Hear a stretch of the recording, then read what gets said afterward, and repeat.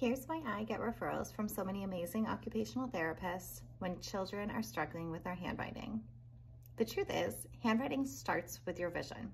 Before your pen can even touch the paper, you have to visualize what you're gonna write. So this would explain why children are, or even teens or adults may struggle with spacing, sizing. A really great example that I like to use is if we were to write the word happy birthday in an arc. We know that the word happy is a shorter word than the word birthday. So the real challenge that we often face is we have to visualize where to end the word happy before we start the word birthday. Now, of course, we could draw this out as an arc and help ourselves, but that probably wouldn't look too good and I didn't even do a very good job on a birthday card. So what's the real challenge? Why did this end up so uneven with all of the spacing? It's because I didn't properly visualize it before I even started. So that's where kids with visual processing challenges really struggle. But they're of course going to struggle in even simpler things. We all know that writing obviously takes a good hand grip, but one of the other challenges truly is just the beginning and getting started. And that's why as patients or as kids are learning their muscle memory, we have them start by just tracing the letters. Tracing is a perfect example of how it removes the visual processing system's task and load of work by already putting the picture for them to just trace. It's obviously much easier for a child to do that than to draw it on their own because when we have a dotted line, it does the work of the visual system for them. So now instead of having to do multiple things, they can just perform the task of motor skills and tracing. And we've removed the task of visualizing onto the paper.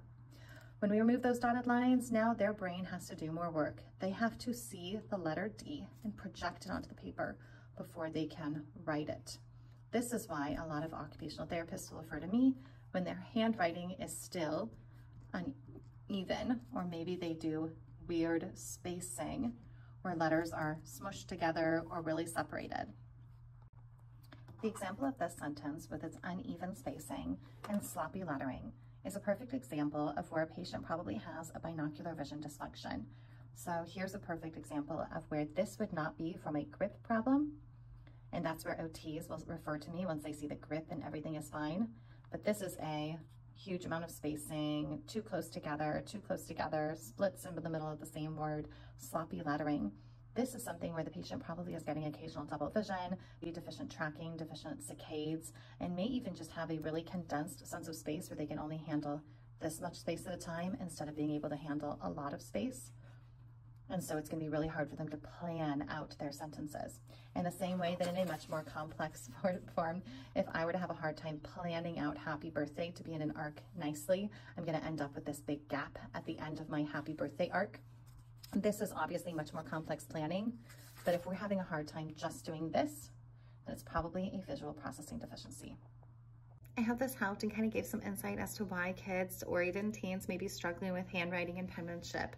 If their grip is fine and they're trying really hard, it's probably a binocular vision dysfunction. It's present in over 30% of the general healthy population, and a group of ophthalmologists just found that over 50% of a group of college students that they evaluated had a binocular vision dysfunction. These are really, really common and can definitely be treated and cured, so we don't have to struggle forever.